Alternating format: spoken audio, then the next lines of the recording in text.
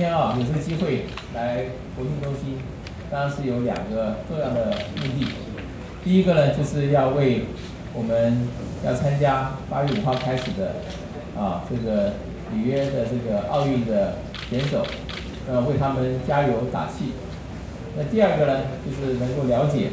国训中心目前的状况，以及对我们国家未来体育的政策啊，那么培养我们体育人才，以及呃促成我们全民体育风气的这个整个的这个做法呢，要多一些了解。作为一个运动员，最重要的运动员是的表现是表现在过程中间，不见得一定要看你结果。过程就是他把他的能力发挥到极限，我们这个团队帮助他把他能力发挥到极限。那这个过程，这个过程是这样的好，那这个运动员的表现是成功的。那么最后的结果呢，那就是看啊，呃，所以呢，我这样来讲意思就是说，我今天来这边呢是帮我们的选手加油打气，也是希望我们全民都能做他的后盾，不管是选手，不管是亲友，不管是我们国训中心的所有同仁，我们都应该帮助他，让他能够。到这个奥运竞技场的时候，那个那一刹那能够发挥到最好最大的体现，这就是我们的工作，我们的目标。在这个情况下，我们要怎么样的去把这些我们应该有的帮助的工作做得最好？我们也期待我们的选手呢，通过他自己自身努力，能够一起来配合做得最好。这就是我们现在开始到八月五号以后奥运会开始这段时间，我们最重要的工作和挑战。我们现在只要把这个工作做好，这是我们最重要的目的。我想，我们的奥运选手是我们国内现在最杰出的、最了不起的运动员，这些他们都是国家资产、国家的宝贝啊。那么，我们是不是应该要有进一步来思考，我们怎么样能够让这些资产能够得到更多的照顾，同时要有更多的啊有运动天分的这些人能够被发掘，这也很重要。我也觉得有些运动啊，实在是值得我们。啊，政府呢，和全民一起来推动。当然呢，运动的种类非常的多。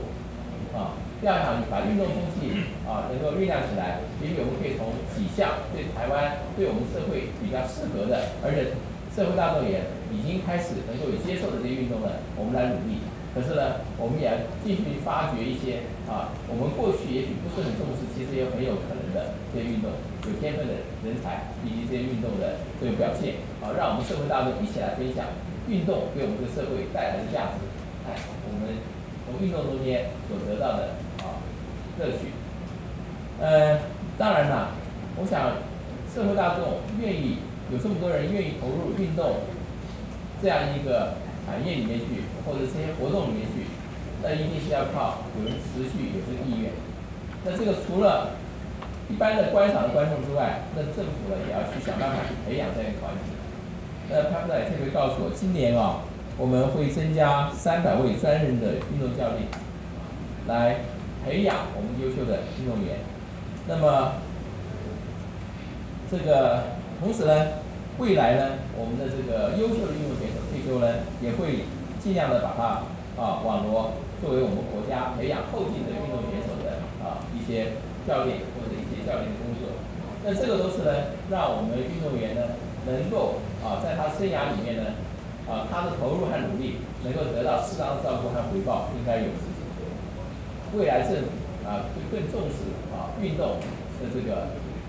呃这样一个事。呃，事情的政策呢，把它当成啊一个很重要的部分呢，来这边来做宣告，也希望我们教育部、遗嘱啊都能够在这方面能够贯彻。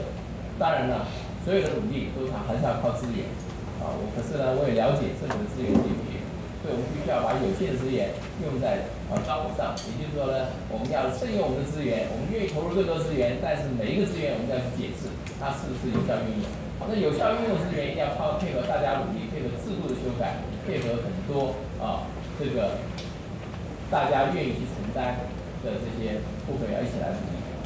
所以我期待我们啊能够新式化这方面，把运动的每一个环节都能够做好。而最后呢，我也期待呢，我们在座的每一位啊，国训中心的每一位同仁都能够发挥我们像运动员一样的运动员精神，就是把这个过程每一个过程都尽量发挥，尽量做好。那我相信我们台湾的体育运动。啊，而且很快的会有一个新的面貌，啊，这是我对大家祈勉，也希望我们一。起来努力啊！好，谢谢。